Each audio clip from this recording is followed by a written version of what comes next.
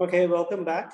Um, I've also started the recording. I, I think we have one more minute, so let's wait.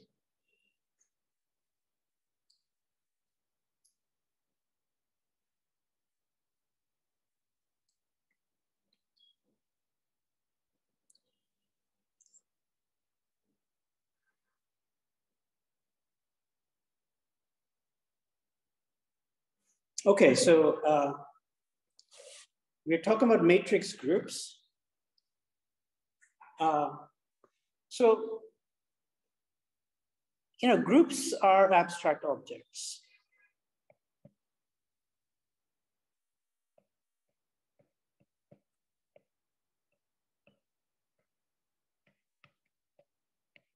You know, when we talked about the discrete groups, you know, they were essentially defined in terms of their multiplication table, right? So, however, you know, most of the Lie groups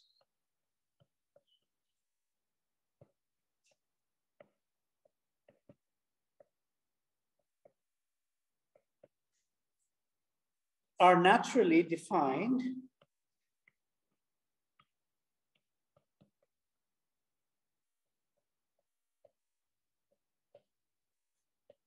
in terms of matrices.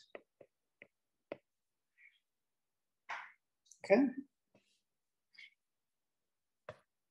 And uh, so not only that, a given matrix group can be represented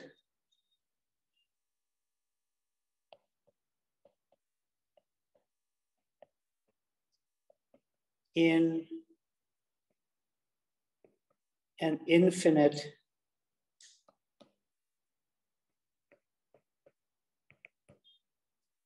number of ways. So I've just introduced the word represented. This is actually a, a very important word in group theory. So, uh, so these matrix representations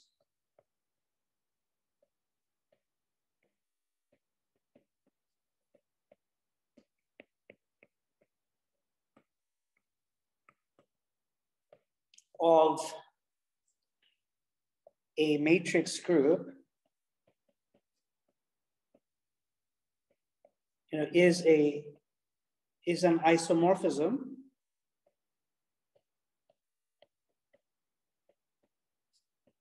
Between the group, the matrix group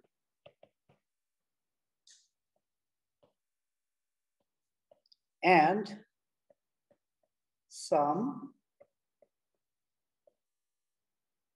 uh, subgroup or some subset, I should say, some, um, you know, some subset that is some sort of embedding of, say, the relevant,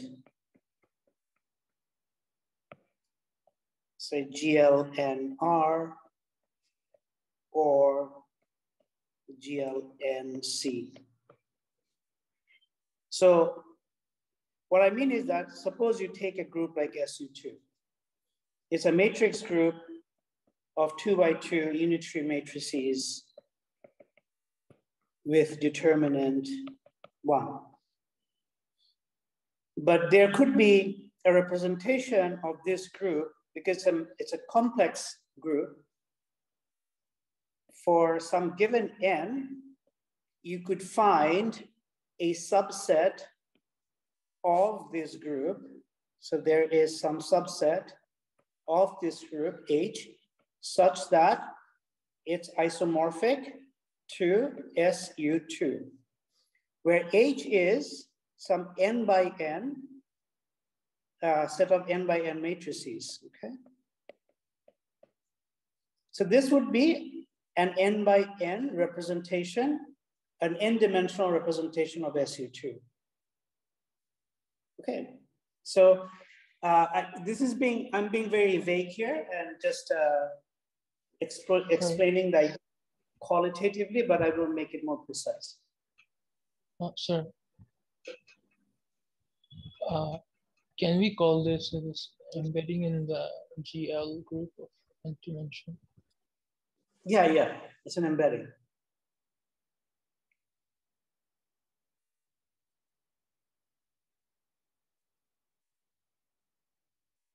Okay.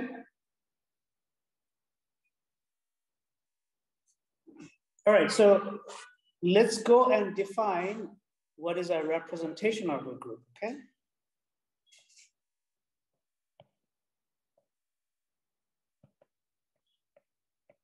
And representation theory is an important aspect of group theory.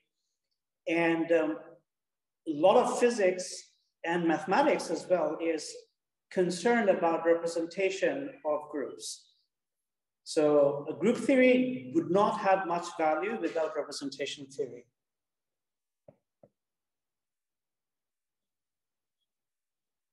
Repre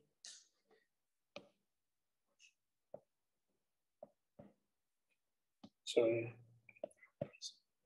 representation of a group.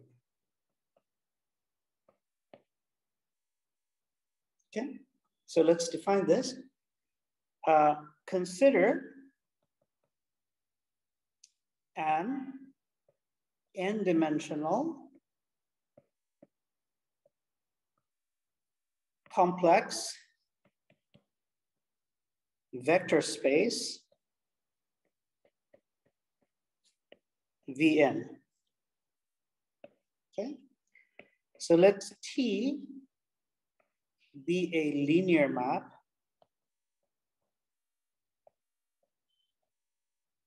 you know, on Vn, that is T maps Vn to itself you know, such that T acting on some element X in Vn goes to some other element X prime, which is T acting on X. Okay. And T must have the property that T alpha times X plus beta times y is equal to alpha t of x plus beta t of y, where x and y are elements of my vector space, and alpha and beta are elements of the field of complex numbers. Okay, so this is so this equation expresses linearity. Sorry.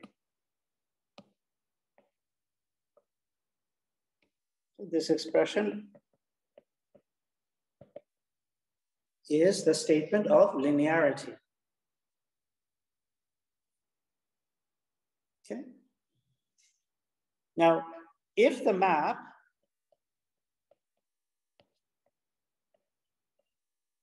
is uh, one to one, you know, then there exists the inverse map T inverse such that T inverse T acting on X is equal to TT inverse acting on X equal to X, right? The identity operator acting on X, which is X, right? For all X.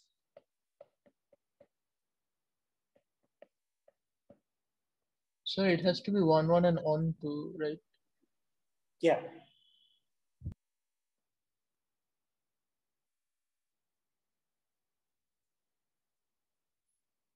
So, so yeah, now let G be a group, okay? So far, we haven't talked about groups. Let G be a group. Now, if for each element, say G, small g in big G, there exists a linear invertible map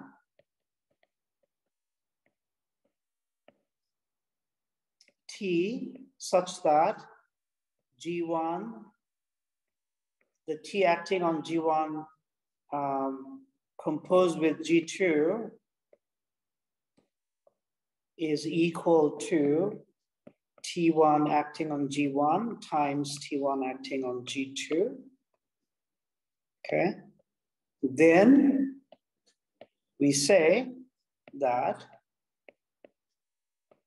the operators, the linear operators, T of G, uh, form an n-dimensional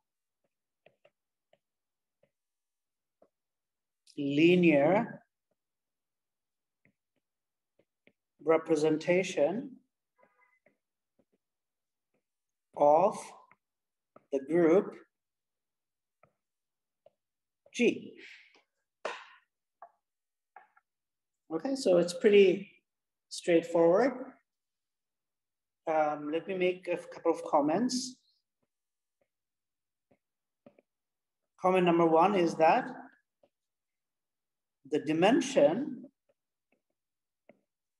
v of n, you know, need not be the dimension of G. Okay?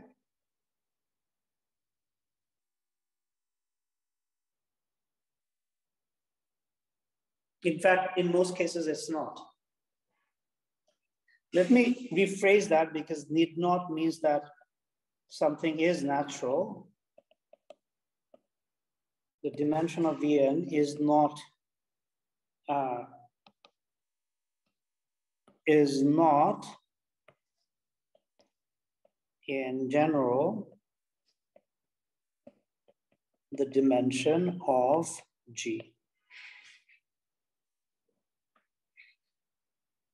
Okay, so this is basically the representation of a group, which is an abstract object in terms of action by a set of linear operators on a vector space, which is also an abstract object, right? When I talk about a vector space, what do you think? What is a, what is a vector space? Can someone tell me? A vector space is an abstract concept. Yes, it is not rows and columns. That's just a representation. A vector space is a, is a set which satisfies the axioms of uh, a vector space. Right? All vector space of a given dimension over a given field are isomorphic.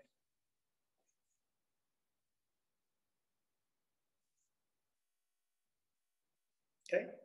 To specify a vector space for finite dimensions at least, all you need is the dimension and the field over which you're defining it.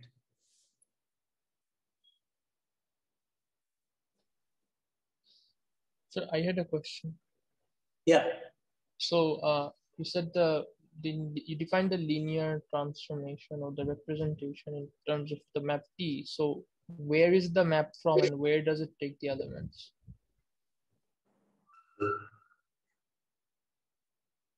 The map is from the group to the space of linear operators.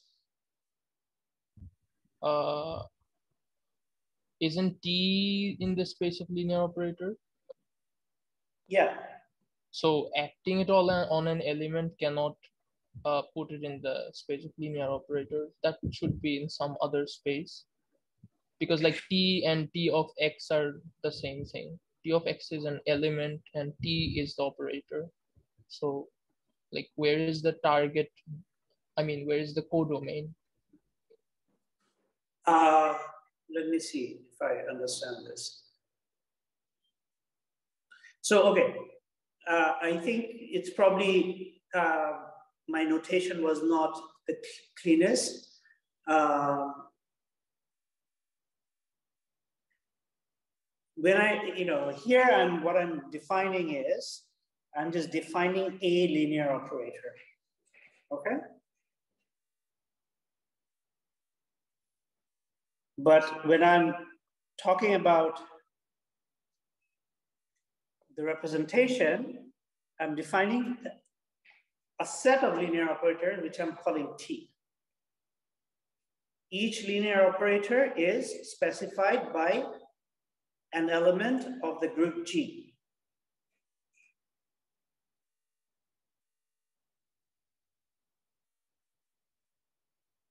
Okay, so here I have essentially multiple linear operators, T, each of which are specified by an element G.